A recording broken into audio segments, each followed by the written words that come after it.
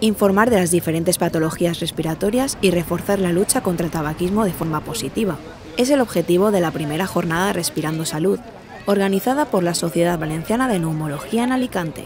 Enfermeras, médicos y otros profesionales sanitarios aprovechan el buen tiempo para salir a la calle y a través del ejercicio informar a la población sobre los perjuicios del tabaco y su relación directa con enfermedades como la apnea del sueño, el asma o la EPOC.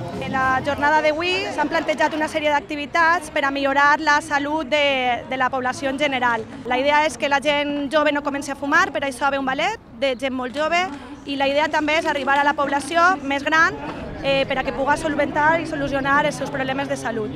Des del Col·legi d'Enfermeria sempre eh, apoyem aquestes activitats, per això estem així, encantats d'estar així.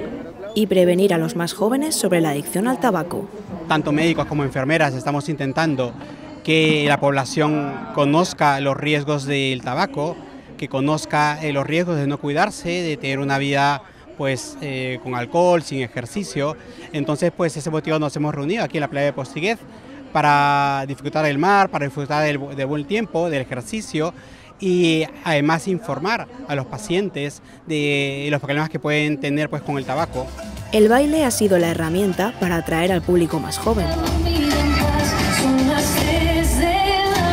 Una marcha deportiva y el vuelo de cometas han completado la jornada todo aderezado por charlas informativas y talleres para concienciar de cómo prevenir enfermedades respiratorias. Se cumple este año los 25 años de la Sociedad Valenciana de Neumología y pues están hablando neumólogos sobre los problemas principales de la neumología, el tabaquismo, el asma, la EPOC, el problema con los inhaladores, eh, el sueño, los problemas del sueño. Además, la población ha podido conocer la calidad de sus pulmones.